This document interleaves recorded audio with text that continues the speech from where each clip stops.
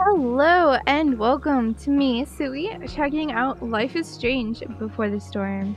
Um, I've been wanting to play this game for a long time and I just haven't gotten around to it, so I thought it would be fun, especially considering we covered the first Life is Strange game already on the channel. So yeah, I'm just gonna go ahead and look through the settings here. I love it, detail mode. Oh, that's funny. Do we have windowed full screen? We don't. Okay. Let's go 144. Uh, or not. Alright, I'll just leave it all as is here. Um, video. Oh, this is what we are just looking at. Audio. It's fine right now. Subtitles are on. That's nice. Um, let's see. Game settings. Everything should be fine. I'll mess with it in-game if I need to. Alright. So we will go ahead and start. Oh, there's a start button. uh, don't mind me. Do not mind me.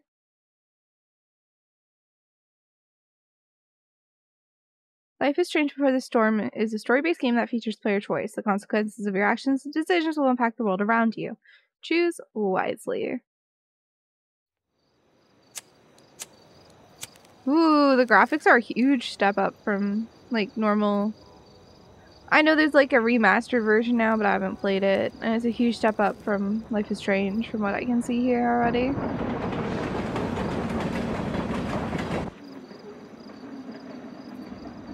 I'm guessing this is Chloe here.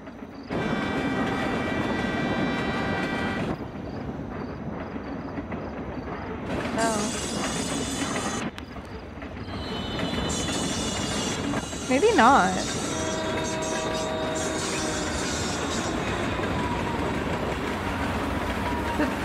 The way they stand and stuff doesn't really give Chloe vibes to me. It's Max. That's weird. I can't believe Firewalk is playing a show at the old mill. Fuck yes. Mom would kill me if she knew I was out here. This is so different. What? Can I shoot FOV? Sorry, this is the first thing I see. I'm just like, FOV? No? No. Okay, I'll deal.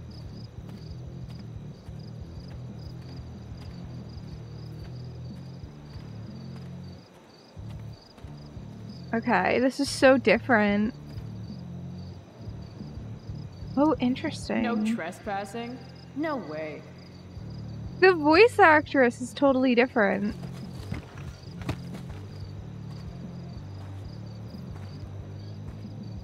Are we sure this is the same? Holy shit. Character? What? This seems so weird. Is this really? This place is awesome. What? If I'm gonna get inside, I'll have to get through that door. This is not the main character I'm used to here. That saw looks ancient. I wonder how long ago the mill actually closed. Her voice was so much higher pitched in the main game. If I owed somebody a thousand dollars, I'd be shitting my pants. It's just such a different voice. Those guys need to get a room. This is really weird. Or not. Damn. Mind your own business.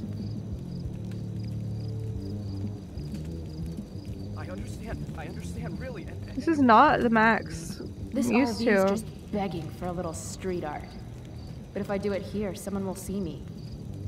This is not the character we... What? This is so weird. Oh, we can graffiti this, okay. Now what to draw? Free candy, I like it. This is just not... Hey kids! Free candy. I'm so confused. This is so far. From our character. What? This is so weird. Wait, Chloe? We're playing as Chloe, but she looks like Max. Maybe she is Chloe. But. What? I'm so confused. What? I know it's accurate, Suboy. I'm just really confused. I guess I can see it. But she looks more like Max, because, like... What? This is throwing me through a loop. Now, the voice acting does make more sense. Yeah, she is, like, way more similar to Max's hairstyle. But I guess it is Chloe? That's so weird. Okay, this does make more sense now.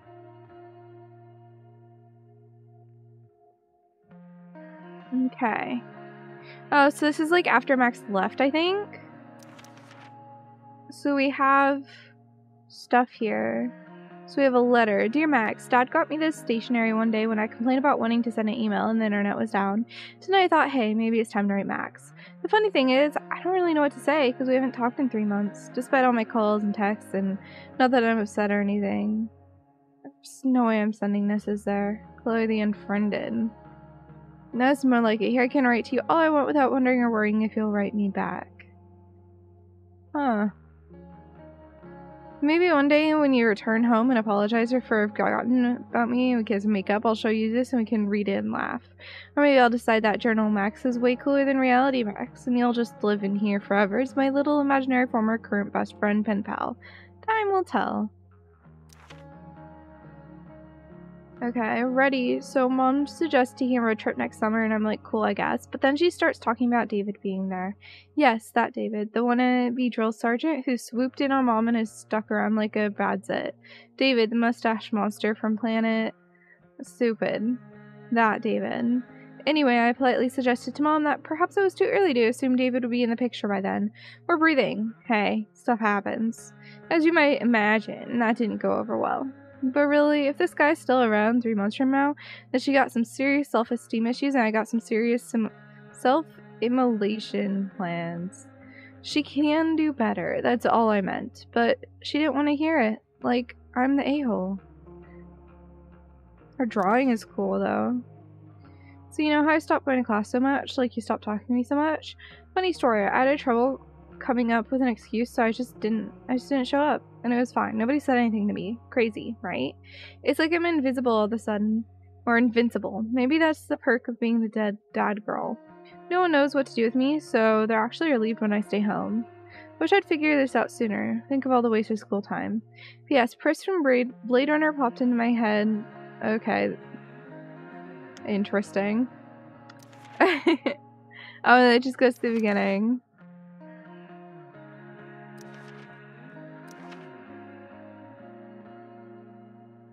So she's Chloe. Inmate at Blackwell Academy serving a four year sentence for crimes against maternity. That'd be my mom, Joyce, who seems endlessly disappointed in me. Which, I get it. I'm no one's image of a perfect daughter, or student, or anything really. But who wants to be perfect? I'm surrounded all day by so called perfection, it sucks. The things that suck. Mom's new drill sergeant boyfriend, David, who, how hard it is to buy weed around here, having no friends, hypocrites, uh, country music, people say chillax, dad being dead. It's been two years since he died in a car crash, and I still think about him all the time. I've been having these weirdly lifelike dreams. Sometimes I think he's trying to tell me something. Other times I remember that he's feeding worms in a ditch right now, and anything else is just a fairy tale to make myself feel better. At least I have two weapons to help me survive this town. The pen I use to tag any and everything I want, and my shining personality. If I work at it, maybe I can leave this place just a little less perfect than when I found it. Despite my mom's best efforts, I don't actually hate her. I know it's been rough since dad died. Money's tight, her job as a waitress at diner isn't exactly glamorous, and I'm clearly not about the whole going to school thing. But why does she have to make things so much harder on the both of us? She acts like if I smoke pot or when I skip out to go catch an awesome show, it's somehow a personal attack on her. She should be happy that I'm self medicating and not going postal on everyone. She used to be this way when dad was around. she would be actually cool. But lately, she's awful. Oh, but lately there's this awful person she let into the house that's messing everything up. David Madsen, a jobless, brainless dude uh, who's from the military and a promise to whip me into shape. I have tried to express these concerns to my mom. Yet every week it seems the virus spreads to yet another corner of her life. I'm starting to worry that the David flu is the kind of disease that kills its host. Okay. We got Max Caulfield, MIA best friend, ex best friend extraordinaire. This artsy girl loves photography more than life itself and definitely more than me. She even uses old Insta cameras. It's probably not healthy for anyone to be that stuck in the past, but who am I to tell people how to live their lives? When we were kids, we would dress up like pirates and eat ice cream and draw and write these stupid comics where we had powers and saved people and stuff. Then my dad died, and her dad got some job up north and she moved away to Seattle. It was probably the moment when I needed her most, and she bailed. Thanks, Max, for teaching me that I can't rely on everyone. I mean it. Life lesson learned. The worst part is that even though we haven't spoken in months, even though she has habit- habitually ignored my texts so much that I just stopped trying, even though I know deep down that she doesn't care about me anymore, and she probably has all new friends in Seattle. I still miss her. If she came back tomorrow and said, Hey Chloe, when I dress up like pirates and be stupid together, I'd take her back in a heartbeat. That's cute. Alright, and so we're talking about uh, dad here, I guess. If I have a nickel bag for every time a guidance counselor or therapist tried to get me to write stuff about dad over the last couple years, I'd never have to buy a weed from Frank again. I guess I think it helps me cope with my feelings or whatever. As if a few paragraphs about how great dad was could help me forget that his guts are probably still plastered to the underside of a semi truck. And what am I supposed to write anyway? That he was a perfect dad who was always fun to be around and never angry. That he treated me like an equal. That he was constantly working to make our lives better. That he could make me laugh even when I was being awful that he sang in the shower and hated hypocrisy, that his barbecue grill is still rusting in the backyard because the thought of either throwing it away or ever using it again are both so painful it's easier for mom and me just to pretend neither of us notices it. That's coping and coping can. Alright, and then that's her again.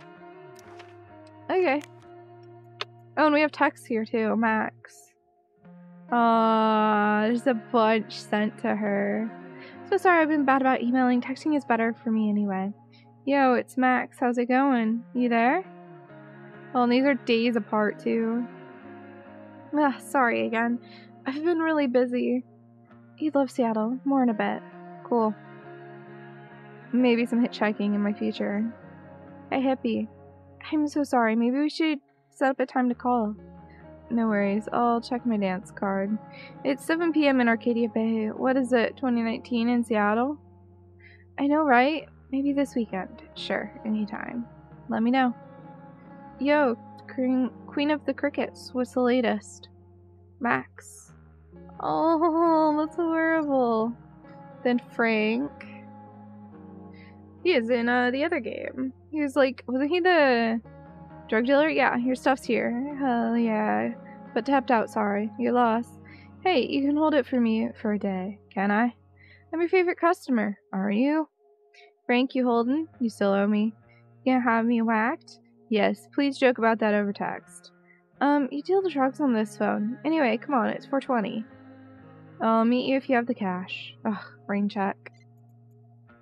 And Elliot, I don't know who this is. Oh, is it Oh, it's just a friend that we do not know about yet. Spanish just sucked. Lucky if I passed. Oh, lo siento. No, I think I did okay. Cool. What you up to? Not much. Got stuff to do later. Okay. Interesting. When we have mom. Will you be joining us for supper? No thanks. Will you be coming home at some point though? Oh no. That was 5-6. And our current... Okay, I don't know what the date is right now. We'll find out. There's a dog kennel here. This place has collected a lot of junk over the years. A second door inside? So close, and yet so far.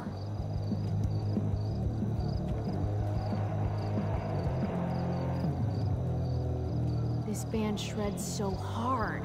I gotta get in there. Okay, this makes more sense knowing this is Chloe. Because I was so confused when I thought this was Max. I was just like, this is just not who Max is. Some say the world will end in fire. This is actually really cool now that I figured out who I am. Mom am. would totally flip her shit if she knew I hiked for an hour just to see a show. This place is sketchy as hell. An old abandoned building in the middle of nowhere, miles from home. home. Right. Now I remember why I'm here. Any place is better than home. Right. So, we're going to leave this episode here. Thank you guys for hanging out, watching this first episode. We're to be continuing with more, of course. And yeah, if you guys liked it, let me know what you've been thinking. Like this video, subscribe to me here on YouTube, and go follow me over on Twitch. I stream there four days a week. Thank you guys so, so much for watching, and I will see you in the next episode.